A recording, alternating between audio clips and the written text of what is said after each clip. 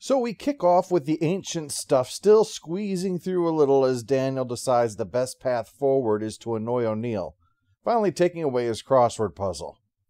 Well, there's actually a clue in there, or rather, several possible clues, in the answers that O'Neill has been writing in Ancient. The clue for seven down is celestial body, and he wrote Uma Thurman. Well, super science isn't an exact science.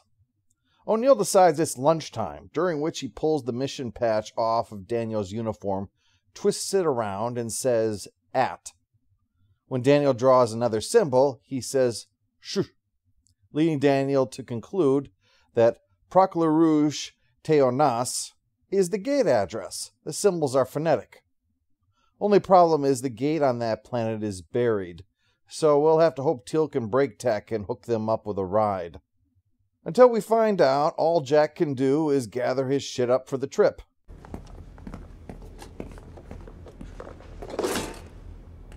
Grab a naquadah generator, will you? Luckily, we got that requisition of kitchen sinks. And good news, Bra'tac and Teal'c get a visit from a Jaffa who has a ship and is prepared to lend it, provided he gets to come along. Insurance reasons, I'm sure. So, soon, SG 1 and O'Neill's extreme luggage needs are loaded onto the ship, heading for Proclarush Taonas. Carter did a reverse lookup on the gate address. Good if you want to deal with those Grebulons who try to scam you.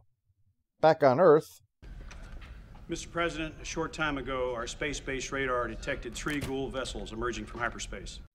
And the worst part is that technically he should end that sentence with, again.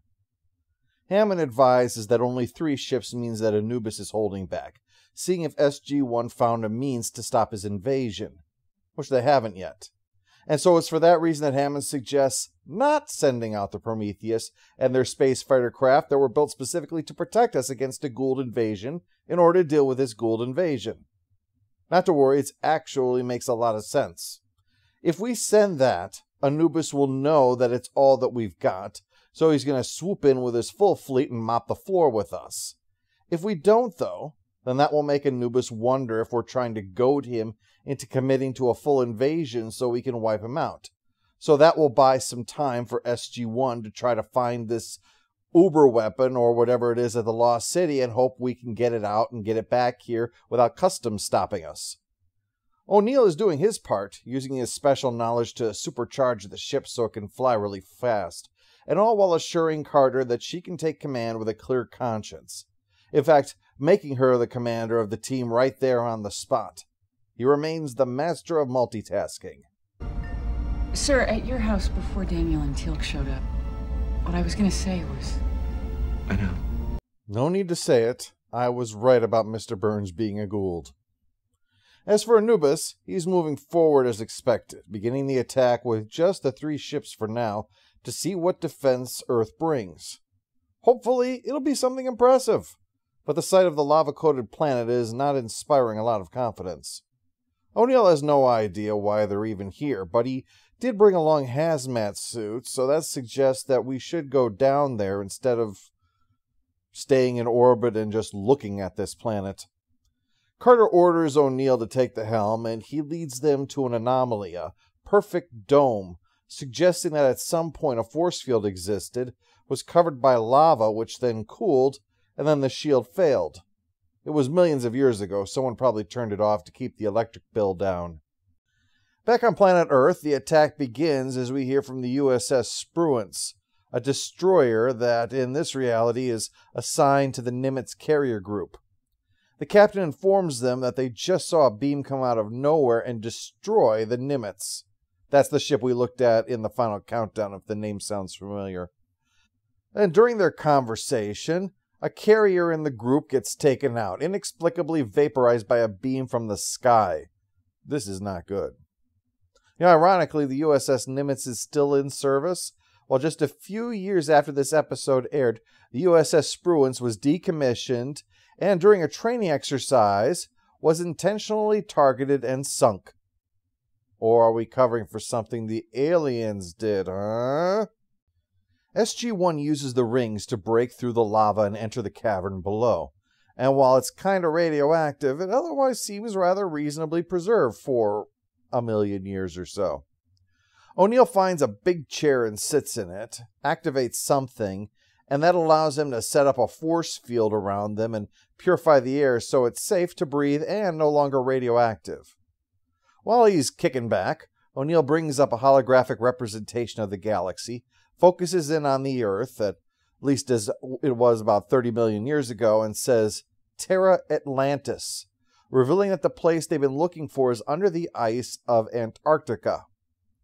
Well, they're a little put out that they flew all the way the hell out here, just need to go back to where they started. They could have skipped this trip, but there's something here that it turns out we actually need. Out of the floor, O'Neill pulls what we will later refer to as a ZPM. And with foreknowledge, we know this is great when you want to kick some ass. There's just one snag. Turns out their new friend's a little stab happy. But this guy is not up on current events. Bra'tac uses that new compound in place of a Goa'uld, so the normally fatal wound is more of a nuisance right now. Despite being older and wounded, Bra'tac is able to take down the traitor and activates the rings to bring everyone up before the dome collapses on them. But a gut wound is still a gut wound, and he is dying. But somehow O'Neill is able to heal him with his touch. Wow. For his next miracle, he'll turn water into Guinness. On Earth, the attack is halted after wiping out the carrier group, but then Anubis sends a projection into the Oval Office, though that doesn't stop. Yeah, I just know my taxes are going up from those trigger happy buffoons. Anubis pulls the come and kneel before Zod on him, but the president refuses. In fact, he decides the best defense is a good offense, saying he's prepared to accept Anubis' surrender and just generally doing everything short of puffing himself up to look bigger. But Anubis doesn't buy it and sends in the rest of his fleet.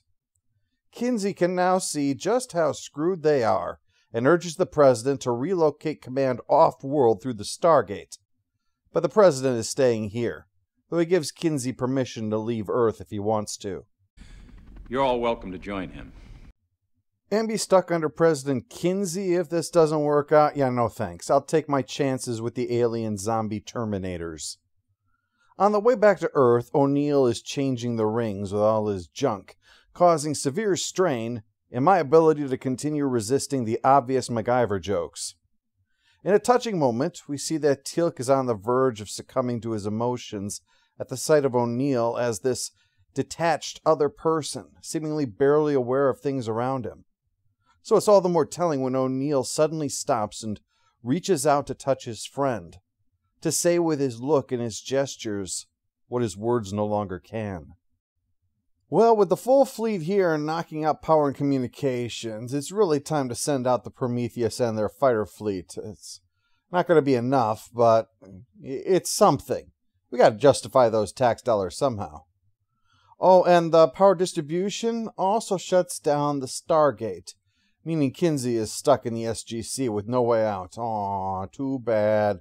Being stuck on the planet you doomed in your stubbornness. Someone get a shrink ray so we can play the world's tiniest violin. Fortunately, Dr. Weir has her head on right and orders a manual closing of the iris. They can't dial out, but Anubis can dial in, and sends through a nuke that would have vaporized the whole of the SGC. Kinsey responds by further panicking. Nice to know someone's on top of that important job. And when she tries to advise the president, he butts in. I am relieving Dr. Weir and taking command sir, from of this what I've looked at, Will you shut the hell up? I'm sorry, sir. Not you, Doctor. Yeah, it's long past time to can his ass, and leaves us free to address the crisis. We're advised is letting Prometheus cover for SG-1 while they work on whatever crazy thing Jack is doing. And Hammond takes personal command of the ship for this fight. But it came close to being, well, pointless, because in order to get past the fleet, they had to come out of hyperspace really close to the atmosphere, and Teal'c barely avoids crashing into a mountain, which would have ended in cannibalism. I've seen enough movies to know that. But they make it and head to an area about where the second Stargate was found all those years ago, and O'Neill takes over the rest of the way. Then he uses the modified rings to melt through the ice so that they can use the rings to head to the set of rings that are down below. But a newest force has picked up their arrival, and they haven't actually made it down there yet. A problem because he's got a whole lot of atmosphere capable craft of heading over there and blowing them up first. Luckily, Hammond of Texas knows when the cavalry should come over the hill.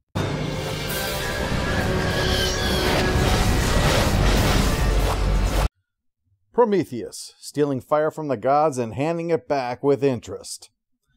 So SG 1 finishes melting the ice and uses the rings to head to Terra Atlantis down below. Anubis is waiting for them, but it's just another projection, trying to stop Jack from reaching the chair. Nope, he walks right through it, replaces the dead ZPM with the one they took from Proclarush Taonas, but Anubis is already sending down his Kull warriors to kill them, forcing the other three to cover for him while O'Neill does his thing. And it's an impressive thing. More of the ice melts, a glow emerges, and soon thousands of drones swirl up, taking out the Kull warriors and then the entire fleet. Uh, we have the tools, we have the talent. But the victory comes at a cost. O'Neill is on death's door. Yet there is hope. Earlier he saw this nook and said the ancient word for sleep, and now took places him inside, and he's put into some kind of suspended animation. And Daniel tells Carter that this isn't the lost city. This may be Terra Atlantis, but it's just an outpost like the place that they visited. And whatever the case, we are not saving O'Neill in the next few minutes. You're going to have to wait until after the to be continued, Carter. The Lost City is a must see. It is the culmination of years of storytelling and introduces a whole new direction for the series, and indeed paves the way for the first spin off with Atlantis. The story gets a stamp of strongly recommended. It has everything heart, quiet moments, big climactic battles, impressive ships, wit, good guys, bad guys, and one thing that I particularly enjoyed what I think of as the Dr. Weir grounding. As someone who is completely new to all of this, it shows just how enormous and shocking the normalcy of all of this is. When Daniel goes off about Anubis being half Goa'uld, half ascended ancient, it is madness, yet only when seen from the perspective of a normal person. For those of us with experience with the show, this is all old hat. I love that about this episode. It really made the enormity of the stakes easier to feel, to sense how outclassed our poor species is by comparison. I also want to praise the Teal'c O'Neill scene once again. With Carter and with Daniel, the point was made clear that O'Neill knew that nothing needed to be said. He made clear he already knows. With Teal'c, he understands that even though he doesn't have the words anymore, something does need to be said in this case. And both Anderson and Judge give that scene all that it needs. What's hardest to parse is this Dr. Weir and the Dr. Weir that we know. According to a recent interview, the actor who played Weir in this two parter believes that she was recast because of her connection to Burning Man, and that that plus the fact that she lied about seeing family rather than admitting she was going there gave the producers the impression that she wasn't going to be committed to the show the way that was needed. It would be fascinating to see how things would have gone with her in the role, as her performances seem capable of far more nuanced than Higginson, in my opinion. But overall, The Lost City was a great example of SG1 and a definite series highlight. I again call this one strongly recommended for your viewing pleasure.